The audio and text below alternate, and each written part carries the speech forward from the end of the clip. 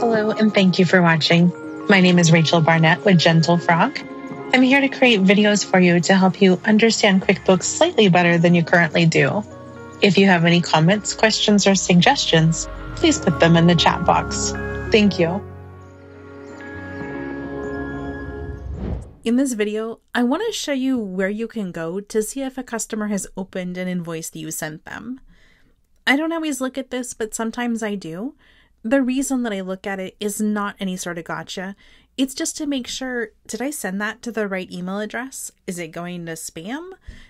That sort of thing. So let me just take you to an invoice. I'm going to go um, go to sales and then to invoices number 1008. That's the one I just sent myself to prep for this. Over to the right, it says viewed, and I'm like, that's helpful, but not really what I want.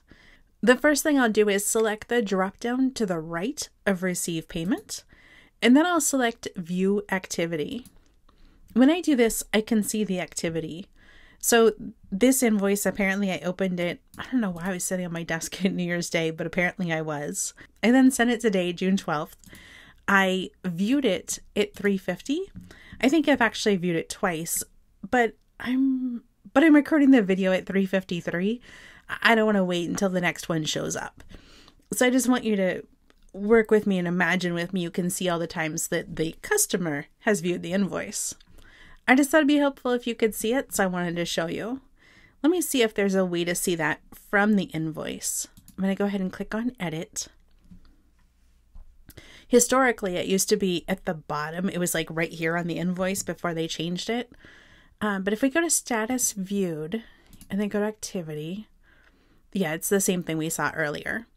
So maybe it helps, maybe it doesn't. I just wanted you to know where to go because if you're like me, you might um I don't know how I can get rid of this. Um you might have been used to seeing it here in the blank space. I didn't even realize that it was inactivity until I was talking to a bookkeeping friend and she's like, "Oh yeah, this is where it moved to." So, um kudos to her.